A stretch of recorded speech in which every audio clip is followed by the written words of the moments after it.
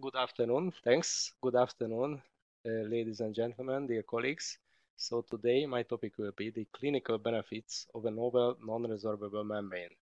And I'd like to share my clinical experiences with PermaMem, a new membrane in guided bone regeneration. So for long-term result and long-term stability around teeth and also around uh, implants, we have to have a certain amount of uh, bone, especially the facial bone, is absolutely mandatory to have. And also the level of the proximal bone is absolutely a key to success. And it is always better to have a, a thick type of biotype than a thin type of biotype. And if you want to have a real uh, optimal environment, then during the planning phase, we have to estimate the situation correctly, whether we have the required amount of bone and soft tissue or not. And then we have to re-establish situations like we can see it here. Uh, if you want to uh, formulate a term, what is guided bone regeneration, and we want to be sure what are we today dealing with, then the first strict criteria will be that today we want to exceed the borders of bone environment. So we don't want to go for those cases where in a well-established or well-maintained or healing bony environment, we can uh, use xenogenic particles with a collagen membrane in a way that we still remain in the well-existing bone environment. So what is regeneration? Regeneration means a reconstitution of a lost or injured part of an organ so that form and function of the lost structures are restored. Can we, and theoretically, is it a way to get a complete or only a partial regeneration can be achieved? Today, we are absolutely aware of certain knowledge that by guided tissue regeneration, we can have only a partial regeneration, while for GBR cases, guided bone regeneration cases, we can have complete regeneration.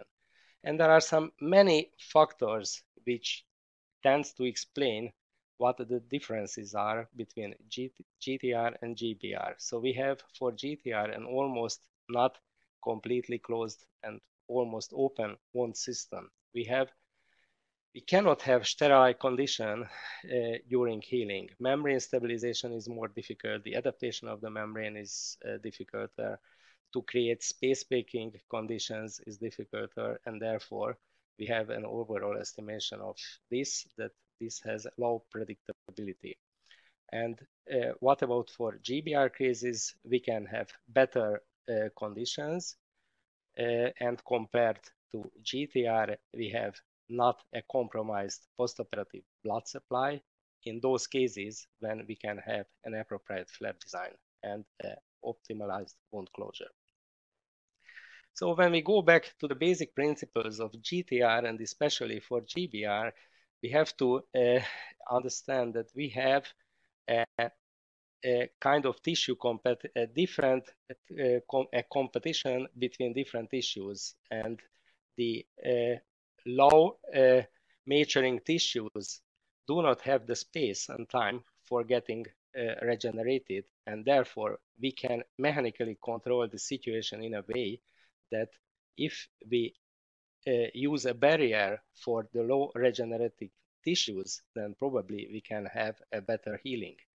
And this is what we can see on the early publications that underneath a membrane slowly growing hard tissue formation can be demonstrated. And these are the milestones of uh, the first steps of guided bone regeneration. Then the first uh, clinical attempts and uh, in vitro animal studies were first introduced to establish conditions that uh, similar or even better results can be achieved uh, compared to GTR cases and these are uh, the publications where you have see where you can see the first uh, important let's say milestones of of this new technique uh, uh, we can we can go to a certain condition that today it is a well-known and uh, absolutely successful treatment approach. Uh, and finally, we can have very nice results and also the flap advancement and flap suturing technique is being developed a lot. So this is a very advanced uh, condition of a certain patient. Uh, the patient has paracelsation when removing the partial denture because the mental nerves was uh, almost completely empty. Uh, and uh, I realized that even the soft tissue is not enough. So a very thin soft tissue cannot provide a proper wound closure for any kind of bone augmentation technique. So uh, the first step was to re-establish the soft tissue profile of the defect. Then a stepwise approach was utilized under general anesthesia uh, from Rarvust, uh, ramus harvesting bone block was uh, positioned vertically and then filled out with spongious bone chips to have vertical support for non-resorbable uh, membrane for the titanium membrane. And this is the two-layer closure above the titanium membrane and the collagenous membrane. And uh, this is the radiography. Nine months later, the reentry. Uh, and you can see that histologically a very nicely formed uh, hard tissue can be demonstrated.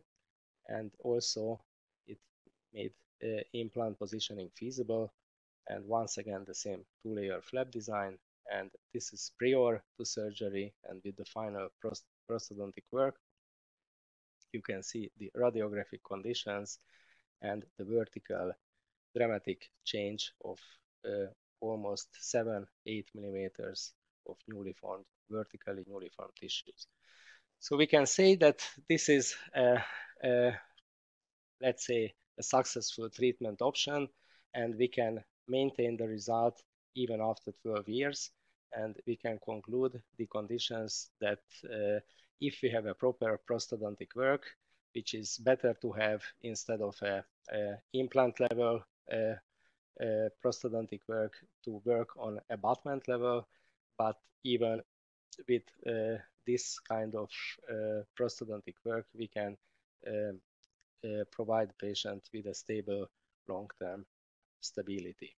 And uh, in István Urban publication, uh, it was resulted this kind of success rate that after six years follow-up, Uh, uh, 94% success rate, which is tends to have similar results than implant positioned in native bone in other two publications and we can say that if we have a completely closed healing uh, GBR procedure with non-resorbable membranes results in similar success than those implants placed in native bone.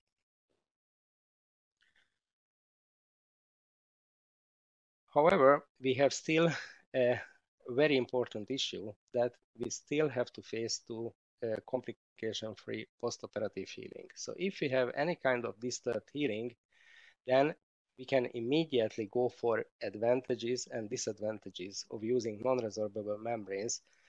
And I won't want to go into the technical difficulties of using a non-resorbable membrane that how the adaptation is and how to achieve an ideal configuration for the defect. But uh, the postoperative healing complications uh, are very, very important. And if we have higher rates of membrane exposures, that means that we cannot provide uh, patients with the same result uh, was uh, mentioned before. And for those cases where we have an even an early exposure, the infection of the augmented area uh, cannot be avoided. Therefore, an early membrane, re membrane retrieval must be uh, uh, performed. And then the supra the vertical part of the augmented volume at least will be lost. So we cannot uh, uh, uh re-augment uh, the vertical part of the defect. So probably that uh, makes this procedure very, very technique sensitive. And there is an ongoing debate how to deal with uh, early exposures and how to deal with them in a way that still the vertical part can be uh, maintained and we are not facing to those conditions that uh, almost the uh, uh, regenerated area will be lost. This is another non-resorbable membrane, a new non-resorbable membrane, and this blue color uh, presents the so-called permamem membrane, where we have an early exposure and this early exposure was handled in a way that after six months there is no uh, uh, uh, typical way of uh, growing dehiscency and as uh, you can see on the uh, right side probably we can see a very harmonious infection-free condition of the soft tissue. So the development and evolution of non-resorbable membranes started with a, a technical uh, bacterial filter, and that was the era to develop from polytetrafluoroethylene uh, molecules in an expanded way. That was the early Gore-Tex membrane, and then to maintain the form uh, and uh, uh, structural supravertical integrity of the membrane that was uh, uh, provided by a titanium reinforced titanium reinforced structure and beyond this titanium reinforced uh, Teflon membrane, titanium mesh was also utilized for uh, uh, larger defect augmentations. Today, we have a dense structure of uh, polytetrafluoroethylene molecules, and we have a newly uh, developed or introduced uh, dense uh, polytetrafluoroethylene structure, and this is the uh, permamem membrane. Later on, we will go into the details how this membrane works and what, I, what, I, what kind of characteristics can provide probably better, better healing patterns than with other membranes. So if we are going uh, from the point that membrane exposure can can be developed and uh, we want to uh, we want to uh, walk on the safe side and avoid this well-known side effect of of the technique then the question will be arise uh, how to avoid reduce and minimize the risk of exposures above non-resorbable membranes, what kind of flap design can be utilized, how to achieve a proper wound closure with a primary intention wound healing. Can we use non-resorbable membranes in an, uh, let's say in a more safe way? What are the differences in, in healing pattern of healed and fresh post-extraction alveolar defects? And can we develop a more safe and stepwise approach for advanced defect morphology? flap design. So this is a, a, condition where not only teeth cannot be maintained, but uh, we are facing to have a vertical bone loss after a series of teeth extractions. And this uh, radiography presents the supravertical uh, early conditions of the same defect after vertical augmentation. Six months later, 11 months later, and we can see radiographically a well-matured bone structure. Stepwise, uh, uh, uh, the, the clinical steps of the vertical augmentation procedure.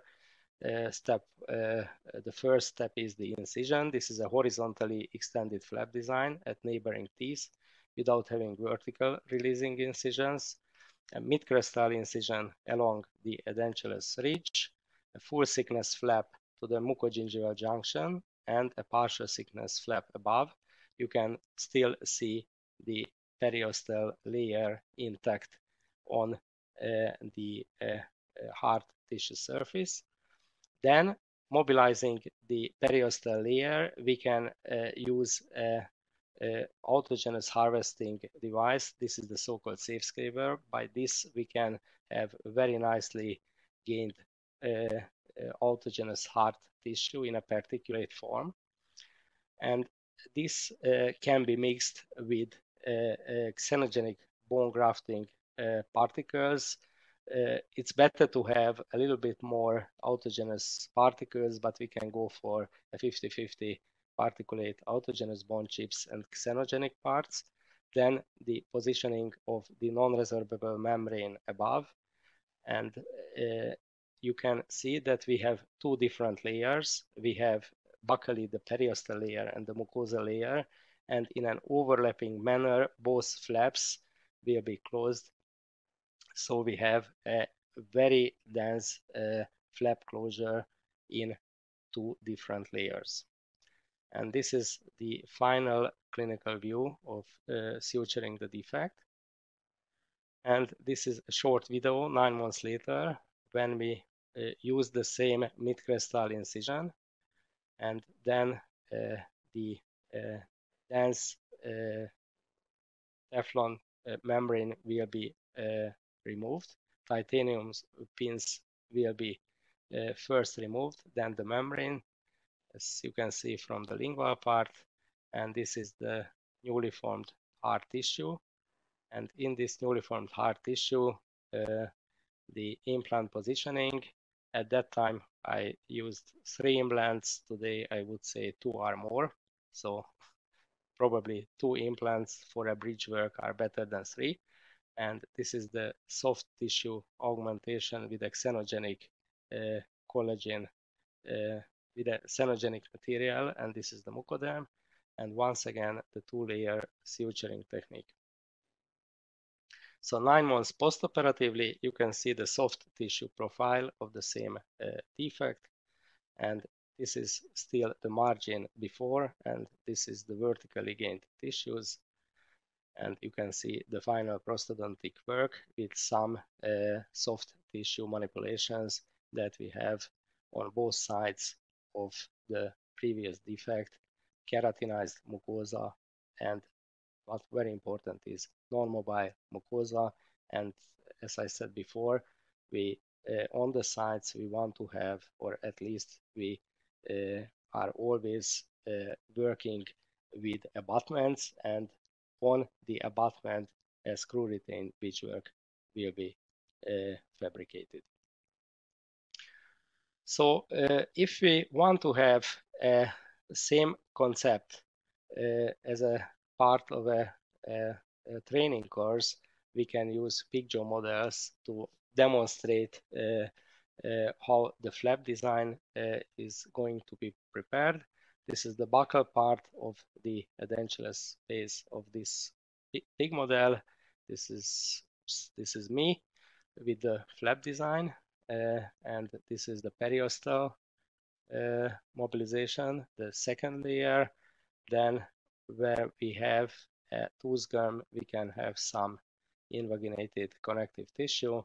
Uh, the uh, bone harvesting technique and this uh, scraped off autogenous bone chips will be mixed with xenogenic particles as one-to-one, mixing this uh, filling, uh, this uh, composite graft, the uh, scaffold providing screws, because in this newly introduced membrane, we don't have titanium reinforcement, but we have a very flexible and very very thin layer of unresorbable membrane. Titanium tags can provide the stability of the non-resorbable membrane. And then we uh, fill out the uh, space between the tenting screws in a way that an absolute fix and safe and then densely packed uh, condition uh, will be achieved and this is the two layer uh, closure, wound closure. The periosteal layer will be sutured to the lingual part and then as a second layer, the mucosal layer will be uh, sutured on the top. So we have two overlapping uh, flap sides above the non-resorbable membrane. So uh, a clinical case for the same technique, as you can see, we have some tenting screws. We have today better uh, scaffold providing or, or tenting functioning uh, screws. And uh, uh, this is how to, how to position the supravertical part of the defect and how to provide the membrane stability supravertically and then the composite graft uh, will fill out the densely packed uh, and titanium pins uh, uh adjusted membrane uh, condition and this is the two-layer flap design. So this is the early wound healing but as we can see a complete uh, wound closure with an absolutely closed healing condition could be provided. But anyhow, it could happen. So sometimes, for some reason, if we could not estimate the defect morphology correctly, or if we uh, a little bit slightly overfill the defect, it could happen that we don't have a complete overlapping layers, and then we have a so-called early uh, uh, membrane exposure.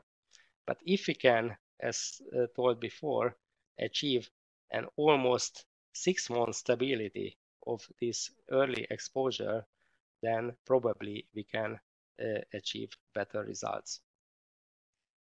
Why is that? Because we have an absolutely thin layer of uh, dense uh, synthetic membrane uh, where is the surface is absolutely uh, uh, does not allow any adheren adherention of bacteria. So we have a very, very clean surface. And the tendency for getting a population of bacteria on the surface of this, even in case of exposures, is clinically absolutely not visible. Uh, I'm not completely uh, agreed with uh, the, the term that no need for primary soft tissue closure, even not for socket preservation cases. I think it's always better trying to have a completely closed system.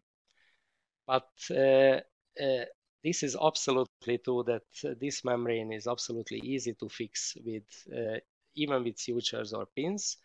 And that could be an advantage that both sides uh, can can have a position to toward the defect side and uh, we can use this new uh, membrane for fenestration, dehiscence defects, and even for periodontal application as well. So the first is to have a proper wound closure above uh, those cases where we want to have a rich overlapping configuration of the membrane and how to how to reduce the risk of using non-resorbable membranes. Uh, uh, probably uh, the answer can be given that if we are facing for those cases where the palatal or the lingual, lingual side of the defect is almost intact, we don't have to go for a real vertical augmentation, but only for a, a horizontal or minimally uh, uh, extended uh, lateral augmentation uh, above a, a titanium uh, implant, then probably uh, the laterally positioned membrane can achieve a better wound closure, and therefore we can reduce the risk of early wound exposures. And this is a case where uh, uh, before uh, starting the augmentation procedure, a certain protocol was carried out to have a certain stability of the periodontal conditions.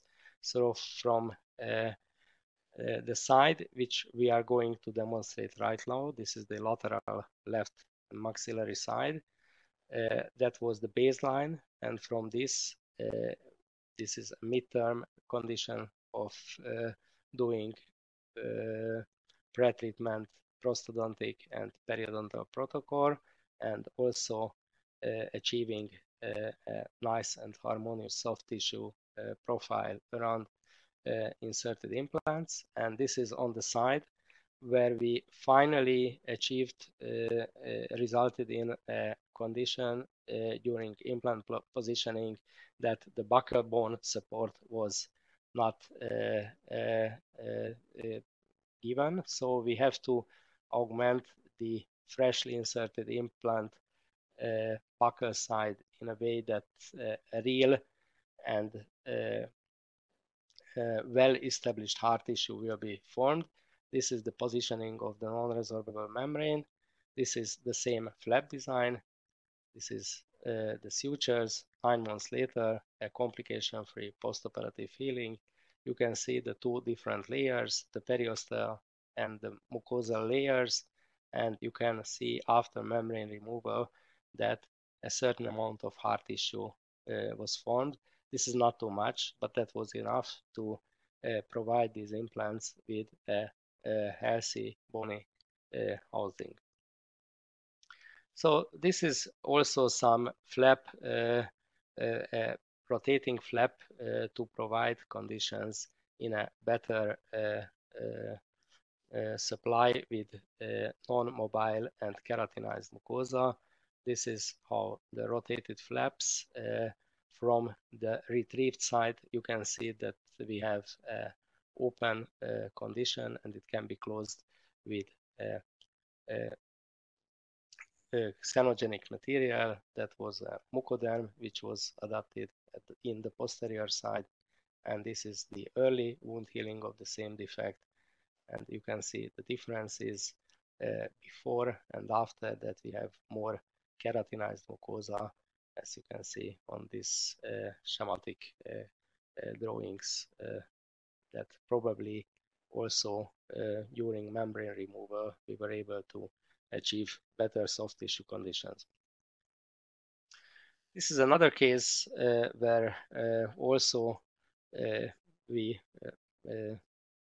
are facing to a condition when a natural abutment cannot be well in function for a long term uh, uh, and therefore we have to uh, make conditions in a way that implant positioning will be feasible. The first step is to vertically augment the uh, conditions in mm, uh, a staged approach. Sinus augmentation will be uh, performed and also a certain lateral augmentation at the same time with a non-resorbable membrane. Then for some reason, we realized that the canine cannot be kept. And after the early healing, we decided to provide the implant positioning uh, in the posterior zone and in the delayed but early implant uh, positioning uh, of the previous canine uh, condition during one surgery and this is the navigated positioning of uh, these implants. You can see that we have a tendency for losing the outer buccal bony volume, which is not surprising. So for those cases where we are facing to uh, frontis or even uh, a canine, as a, a, a absolutely having an outstanding profile of the alveolar ridge, uh, after tooth extraction, we are going to face to the typical condition of this. So uh, lateral augmentation technique uh, will be uh, provided during uh, uh, the surgery after implant placement. And this is the radiographic conditions this is the healing uh, six months later. And we can see that uh, beyond the membrane, a newly formed hard tissue was developed. And uh, you can see that at the sites where the implants were, were positioned in well-healed bone, some uh, slight uh, alveolar ridge dehiscency was occurred. Therefore, some uh, autogenous bone chips was applied and then some xenogenic material and the same membrane, membrane was positioned once again. So this uh, uh, laterally positioned or buccally positioned membrane configuration a little bit apart of the mid-crestal incision can help to uh, achieve uh, to uh, get early wound healing complications and also a kind of stepwise approach uh, when we are facing to an early uh, or even a fresh extraction site can be followed to uh, have better and more safe reconstructions of the alveolar ridge. So what uh, do we mean under uh, differences in healing pattern of healed and fresh extraction sites? So this is also a periodontal patient who underwent perioprosthodontic complex rehabilitation and this is uh, two years later uh, stable conditions some seven years later as you can see uh, periodontal defects developed at the right side Therefore, periodontal therapy was performed.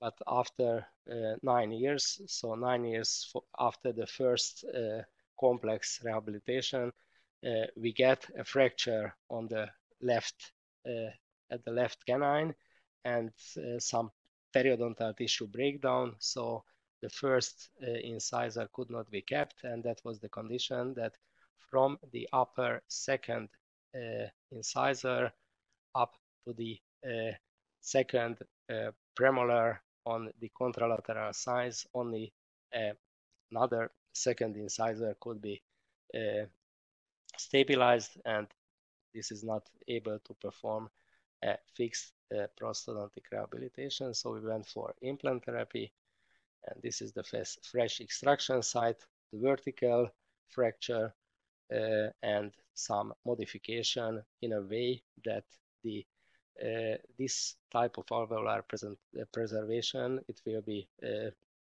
severely discussed later, can result in a condition that the outer profile of the bone can be maintained or even reestablished. You can see uh, that was the first step, but the infection could not be eliminated.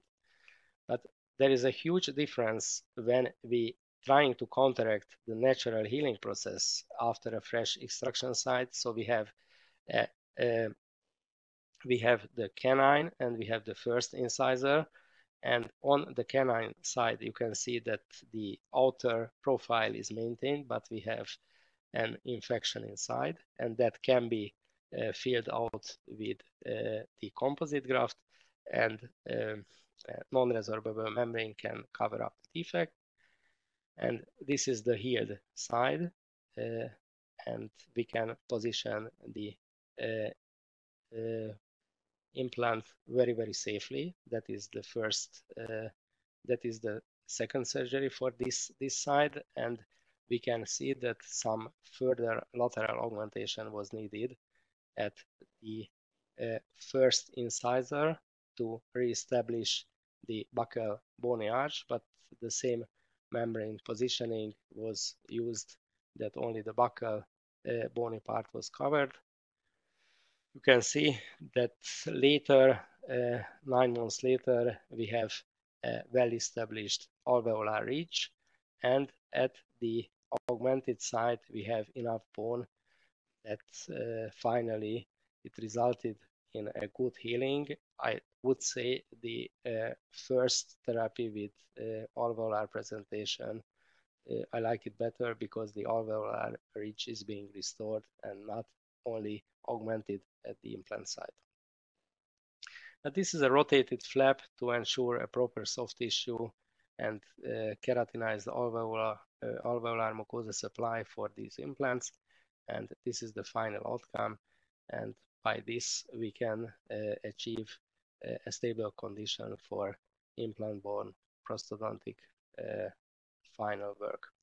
Alveolar ridge preservation with this novel access flap design so when uh, we want to uh, summarize uh, very, very simple, simply what is going to happen in most of the cases, where we are facing to those conditions where we don't have a well-defined alveolar ridge, but on the outer uh, buccal bony uh, uh, layer, we have only a bundle of bone which is related to periodontal bone.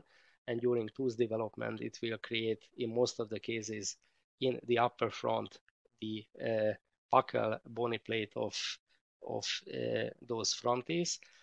So we have a tendency for uh, reduction during the first three months, and this uh, uh, can finally end up in the condition that orovestibularly up to 50%, uh, we will have a, a, a dramatic change of the horizontal dimension of the defect and a certain uh, one to two millimeter vertical shrinkage uh, can be also achieved.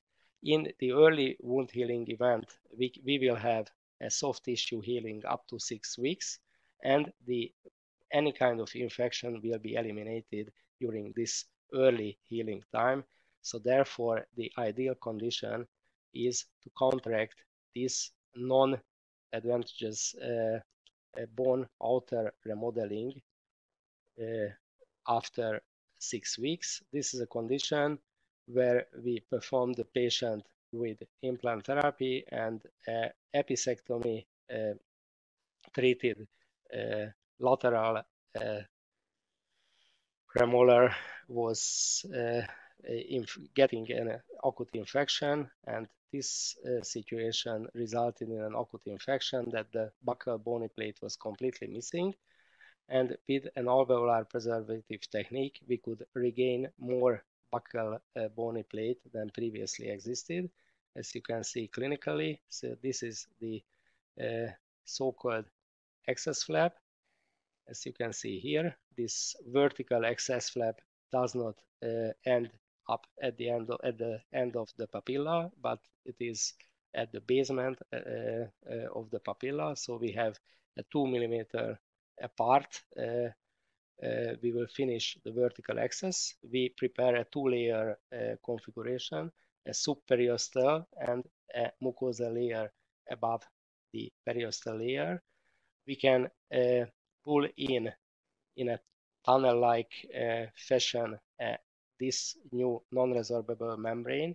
We can also use some uh, like a tenting function of the non-resorbable membrane, some xenogenic particles, as you can see here.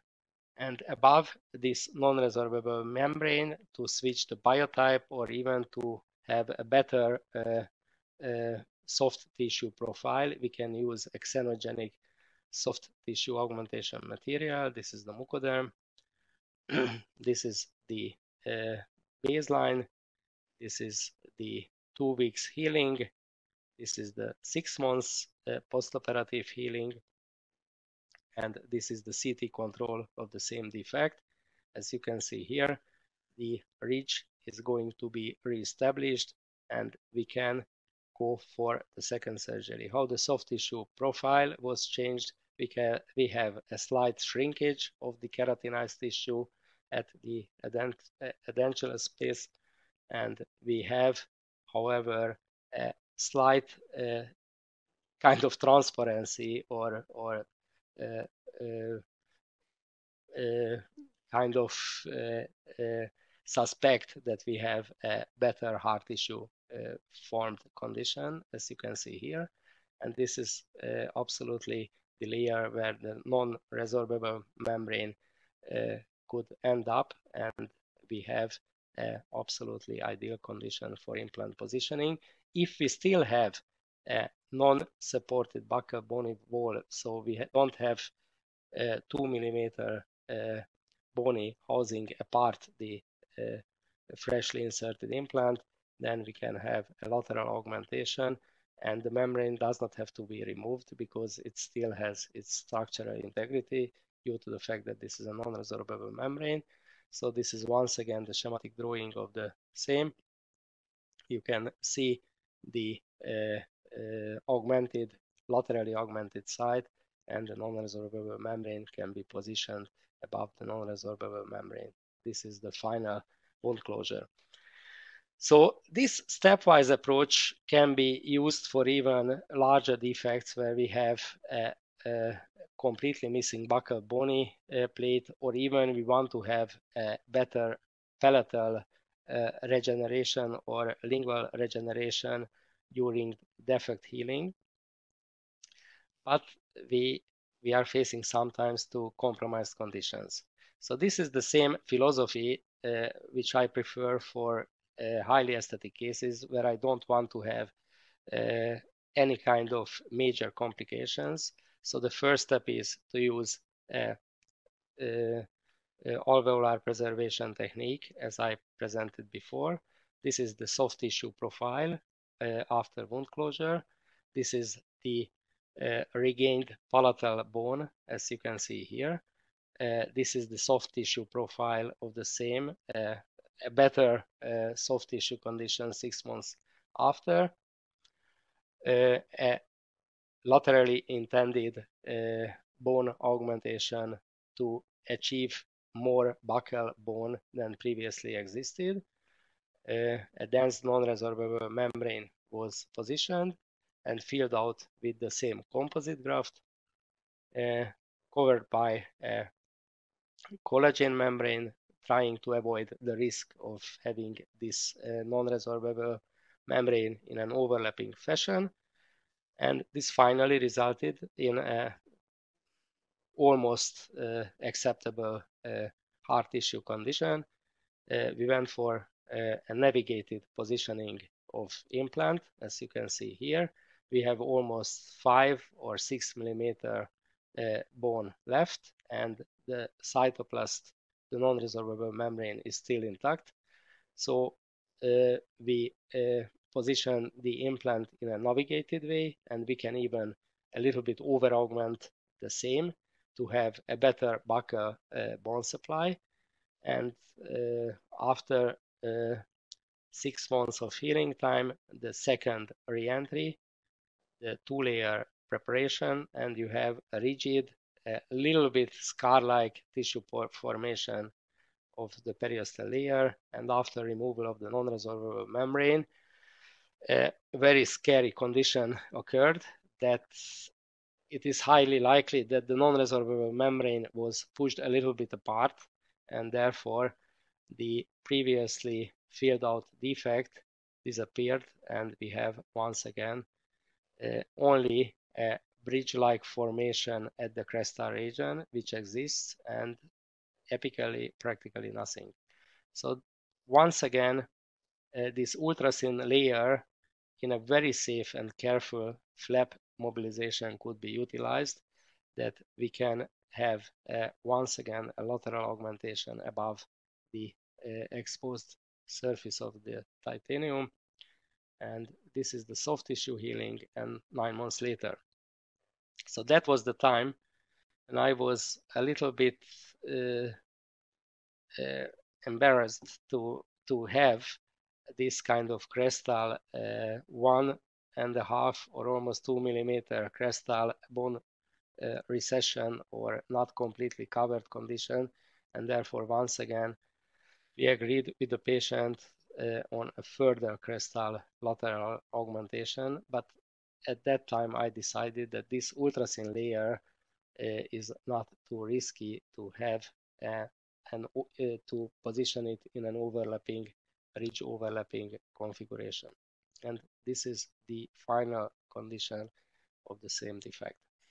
So this kind of compromised healing could be, uh, how to say, tricked out in a way that uh, probably we haven't lost all the structures and we could rebuild, but the, the number of surgeries and the uh, in-between surgeries, the time plays also an important role. So finally, I could say that was not a failure for me, but it was also a failure for the time consumption of the whole process. What about what about for those cases where we cannot have a completely closed healing? And this is uh, the uh, final surgery of a, a very advanced defect morphology the patient has two incisors which were completely infected and due to the uh, pathology of the defect and the outspread of the defect morphology, the second incisors were also involved. The patient uh, could not agree with me on removing all the four incisors. Therefore, we removed only the uh, mesial incisors and we did the same alveolar preservation technique as you can see stepwise here the uh, tunnelized two uh, different layers design and uh, using only um, uh, collagenic uh, loose structure of sponge to fill out the defect. This is the wound closure. This is the early wound healing. There is a tendency, a slight tendency to get the proximal bony wall slightly to recover, but uh, that was the time when I, I absolutely uh, uh, disagreed to perform any kind of bone augmentation because we don't have the proximal bony walls. Therefore, I co uh, convinced the patient that a second similar surgical uh, wound opening must be performed, trying to achieve a closed healing for the second incisors proximal mesial bony walls.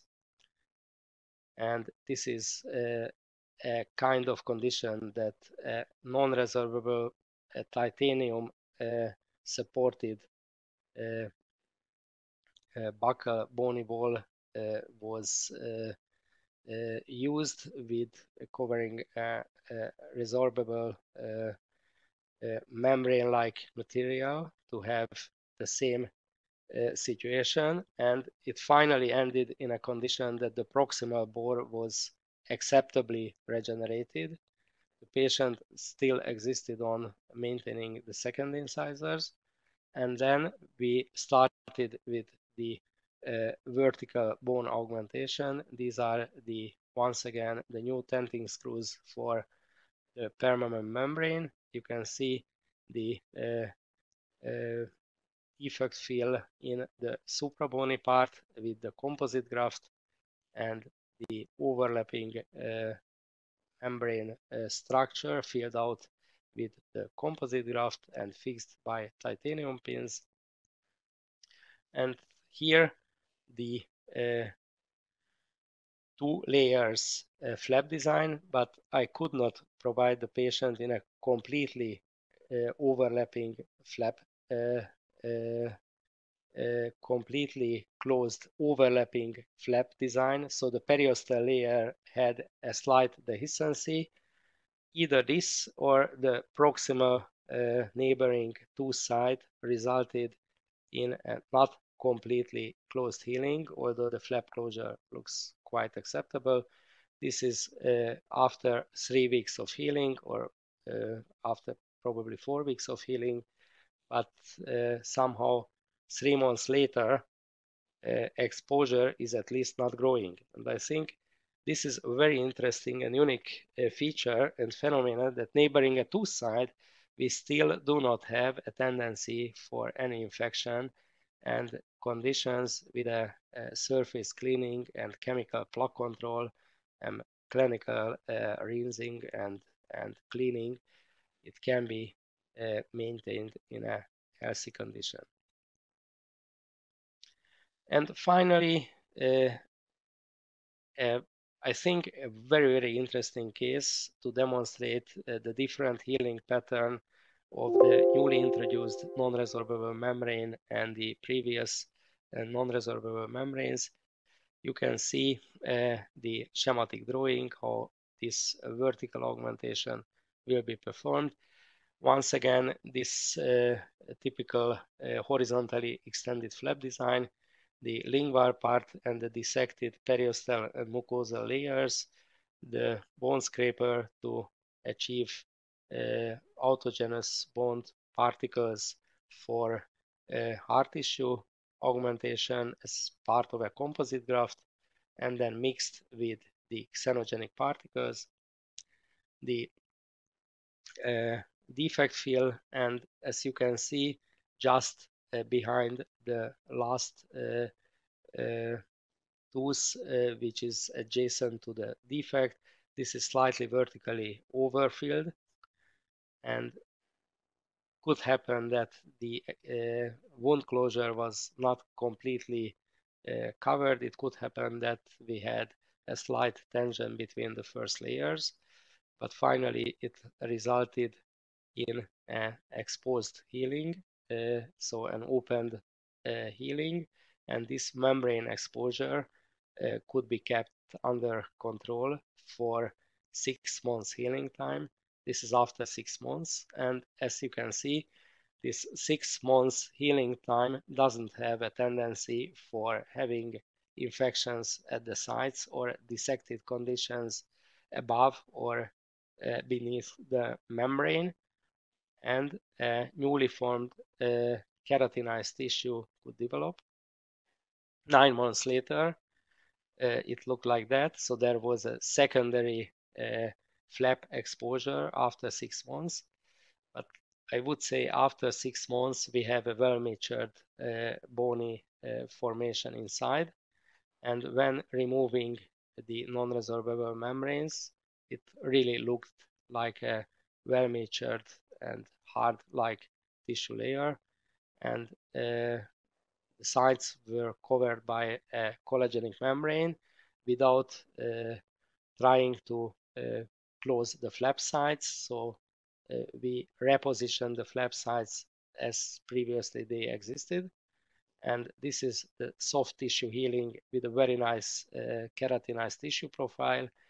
And this is the hard tissue fill nine months later uh, before doing the second stage uh, surgery, the implant positioning, and you can see that even above the uh, previously existed hard tissue peaks, the native bone and newly formed hard tissue can be maintained and radiographically it looks like a well uh, uh, healed and well uh, very well oriented newly formed hard tissue.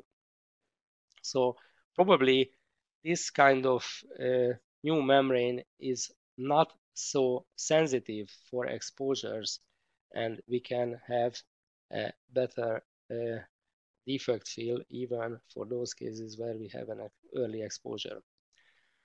For defects extending out of the alveolar ridge, still non-resorbable membrane can present predictable predictable result. I think uh, predictability really needs a non-resorbable membrane. The risk of flap dehiscency and membrane exposure can be minimized or reduced with positioning the non-resorbable membrane, trying to position it only buccally if the buccal bony plate is not completely uh, uh, given or the uh, bony housing uh, does not present 2 millimeter uh, native bone apart the positioned implant. If we are facing uh, to those conditions where a fresh extraction site will be uh, treated, then a stepwise approach, alveolar preservation, and eventually, if needed, a second lateral GBR procedure can be performed. In case of those conditions where we still have an overlapping membrane configuration, that means that uh, we need a, certain, uh, up to a certain amount of vertical or even an advanced horizontal vertical augmentation, a proper flap design is required. However, if complication occurred, membrane exposure can be kept under control and the newly forming hard tissue won't be lost. And probably this is a message, a very, uh, I hope, honest message that uh, this kind of uh, approach can be applied in a more safe way and uh, even exposures uh, does not ring uh, a bell for everyone that non-resorbable membranes must be rather avoided to avoid these kind of risks, high risks by this, I want to thank you for your kind attention. And if you have any kind of uh, uh, questions or, or uh, only uh, interest, further interest, please send a message and I try to answer these questions or comments. Sorry for uh, not mentioning the suturing technique. And I think it is a very, very uh, interesting part of this. So we use 4.0 sutures for the periosteal layer and 5.0 sutures for the mucosa layer and even a 6.0 sutures as a continuous sling suture can be used as a third uh, suturing layer. Uh, probably uh, EPTFE sutures are better uh, to avoid any kind of plaque uh, accumulation. And I think uh, basically this is what we use for hard tissue augmentation. And we have another question, and this is uh, not concerning the suturing technique and suturing materials, for the situation with lateral or vertical ridge defects, how to avoid damaging the mental nerve buccally if you need to advance the buccal flap. I think this is a very important issue and therefore we did some anatomical basic uh, uh, preparation and we have today a better and deeper understanding that the different layers, if you prepare the flap design in dissected layers, you have a periosteal layer and you have a, a dissected mucosa layer, then it is highly likely that you don't have a complete damage of the mental nerve. So the mental nerve and any kind of basic structures has a tendency to run uh, longitudinally uh, to the body and not uh, transversally. So we have some anastomosis transversally. And therefore, if you remove the mucosal layer, it could happen that some anastomosis will be disturbed and dissected, but it can be regenerated. So I did not have any kind of uh, patient where we have a nerve, nerve uh, uh, complication after surgery. Uh, and there is another question, cost of such treatment. What do you mean? A cost of uh, a stepwise approach or, or a cost of a comprehensive uh, rehabilitation of a perio patient? Or uh, I would say if we go for a stepwise approach, that means at least one alveolar preservation is needed. And this alveolar preservation will be the first surgery it depends on on cost of material. Uh, so if you charge for the material costs uh, separately, then uh, it depends on what uh, what kind of cost in your country you have. But the cost of material uh, comes to that uh, extra. So you charge for the for the material costs as well. And vertical augmentation I would say if you want to install uh, a few implants and you don't have the bone for that and you charge uh, one or two implants for that, that could be accepted as a cost of a vertical augmentation as well.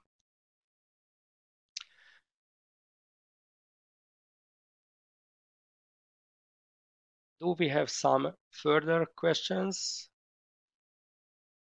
And if not, then I would like to thank, uh, sorry, the last one. If tissue thickness is thin biotype, it, it, would, it would be much more easy to cause membrane exposure. Yes, I absolutely agree with you. So therefore, I wanted to go for always as a first surgery to augment the soft tissue or for those cases where we are dealing with a fresh extraction site, as you, as you can see before, we uh, not only reestablished the buccal uh, bony uh, contour, so we used a non-resorbable or a long-lasting resorbable membrane, but we also did a soft tissue augmentation.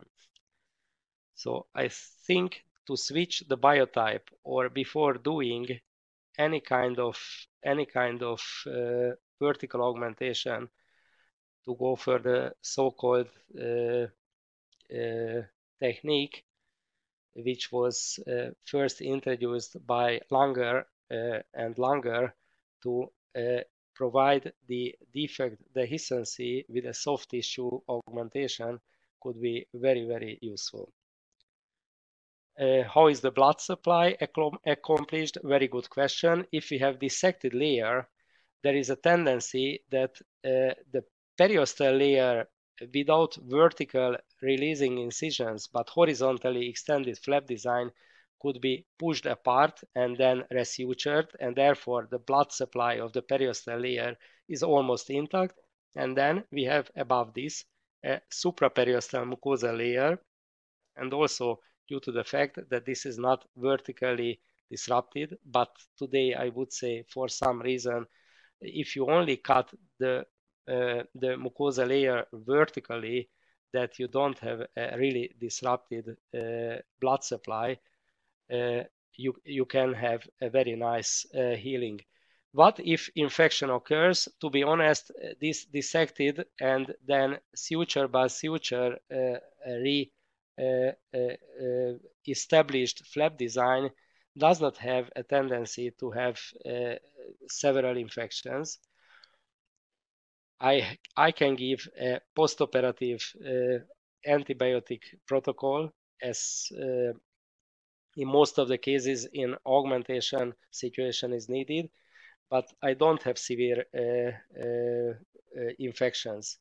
What I have, sometimes I have exposures, to be honest. Uh, does the membrane integrates with, with the soft tissue? Very good question. I forgot to mention that this blue dense membrane does not have a tendency to get integrated. So it's very, very simply to remove. And this is uh, absolutely an advantage compared to, let's say, uh, titanium mesh or titanium uh grid-like uh, membranes where you have ingrowth of the connective tissue and therefore this titanium mesh and grids is very, very hard to get removed.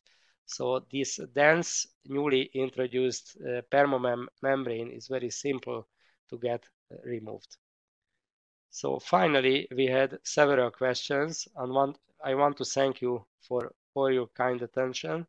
And once again, thank you for listening to me.